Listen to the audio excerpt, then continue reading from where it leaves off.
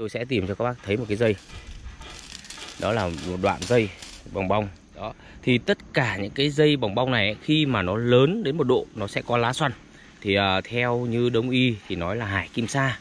Hải kim sa có nghĩa là cát cát biển ấy ạ.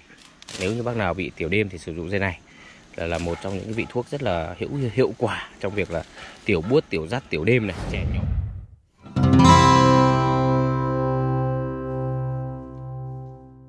Xin kính chào quý cô bác anh chị, rất vui được gặp lại quý cô bác anh chị trên kênh Sức khỏe đời sống HDT3. Và thưa với lại quý cô bác anh chị thì à, hiện nay tôi đang à, có mặt ở trên à, một cái cái, cái cái đồi, cái đồi gọi ở đây gọi là đồi núi. À, thì trong video này tôi xin được chia sẻ đến cho quý cô bác anh chị à, một lần nữa về cái cây dây bồng bông hay còn gọi là hải kim sa trong đông y đấy ạ. Và thưa với quý cô bác anh chị thì tôi đã từng làm cái video về chia sẻ cái dây bồng bông này đến cho quý cô anh chị để chữa cái việc uh, chữa tiểu đêm. Và trong cái series video uh, gửi đến quý cô anh chị những bài thuốc những bài thuốc dân gian uh, những cây thuốc nam chữa căn bệnh tiểu đêm thì tôi cũng đã chia sẻ đến với lại quý cô anh chị về cái dây bồng bông rồi. Uh, tuy nhiên là còn rất nhiều người uh, chưa biết về cái, cái dây này và thưa với lại quý anh chị. Thì à, qua cũng rất nhiều video tôi đã chia sẻ thì cũng được nhận lại được rất nhiều những cái à, đóng góp ý kiến và những cái lời à, cảm ơn cũng như là những lời phê bình. À, thì có rất nhiều bác đã nói rằng là tôi nói hơi nhanh thì đây thực sự là tôi xin được chân thành xin lỗi các bác là vì cái bản chất bản chất con người của tôi là người hay nói và nói hơi nhanh nên là mong các bác thông cảm.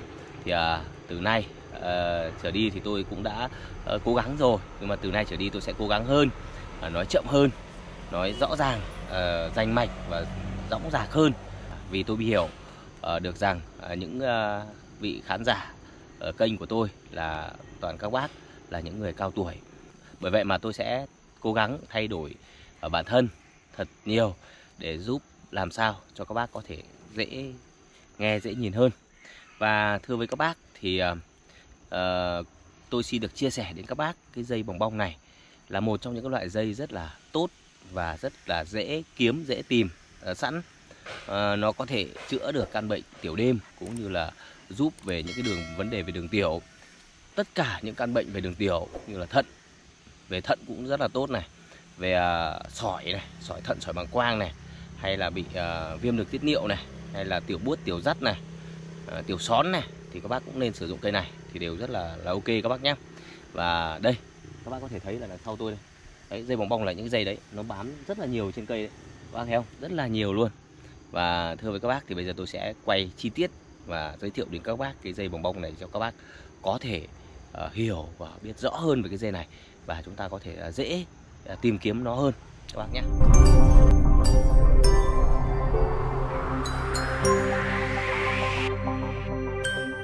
Đây và thưa với lại quý cô bác anh chị thì à, đây chính là cái dây bồng bông hay còn gọi là hải kim sa. Đấy nó mọc khắp đây này các bác này. Đây là toàn bộ là dây bồng bông. Thì à, cái dây bồng bông này ấy, nhiều người nói rằng có hai loại. Một loại lá xoăn và một loại lá không xoăn. Tuy nhiên là tôi xin được chia sẻ với các bác, tôi đã tìm hiểu rất là kỹ. Bao nhiêu loại dây bồng bông thì tôi không biết. Tuy nhiên là tất cả những cái loại nào lá xoăn hay không xoăn thì khi mà nó nó đổ đủ độ nó sẽ xoăn hết. Đấy, cái lá không xoăn thì cũng cũng sẽ xoăn các bác nhé. Đây cái lá xoăn này. Thì tôi sẽ tìm cho các bác thấy một cái dây. Đó là một đoạn dây bong bong. Có lá xoăn và lá không xoăn. Đây các bác có thể thấy này. Ở đây đây đây, đây. Đấy. một đoạn dây bong bong. Nó có cả lá xoăn và lá không xoăn. Các bác nhìn rõ không ạ? Đây đó thì tất cả những cái dây bồng bong này khi mà nó lớn đến một độ nó sẽ có lá xoăn. Các bác nhé nó lớn đến một độ thì nó sẽ có lá xoăn. Chứ không phải là dây có hai loại. Đấy, tuy nhiên là có bao nhiêu loại dây bồng bong thì tôi không không không biết. Nhưng mà dây nào thì rồi nó cũng sẽ có lá xoăn. Thì uh, theo như đông y thì nói là hải kim sa. Hải kim sa có nghĩa là cát cát biển ấy ạ. Thế vậy thì là ở những cái dây à, uh, bồng bong dây dây uh, lá xoăn này thì nó có những cái những cái hạt đây này thì có thể gọi nó là kim sa này. Đó, bởi vậy mà nếu như các bác lấy về đun thuốc thì chúng ta sử dụng cái cái, cái, cái lấy những cái phần mà có lá xoăn nhiều thì có lẽ nó sẽ tốt hơn. Đó thì ở đây là cái dây mà rất là sẵn ở đâu cũng có miền Nam cũng có miền Bắc cũng có và mọc rất là nhiều. À, nó rất là dễ kiếm dễ tìm và có nhiều bác hỏi là muốn mua. Thì tôi nói thật với các bác là cái này dễ kiếm dễ tìm lắm. Các bác có thể tìm bất cứ ở đâu cũng có. Chứ còn à, về mua bán thì thật sự là hiện nay tôi à, rất là là, là bận với công việc và nhiều thứ loại công việc. Bởi vậy mà không có thể là lấy và gửi cho các bác được. Đấy vị à, thưa với lại các bác thì đây là cái dây hải kim sa hay còn gọi là mỏng bông các bác nhá. Nó rất là dễ kiếm dễ tìm. Các bác thể thấy này rất là nhiều luôn ở đây rất là nhiều.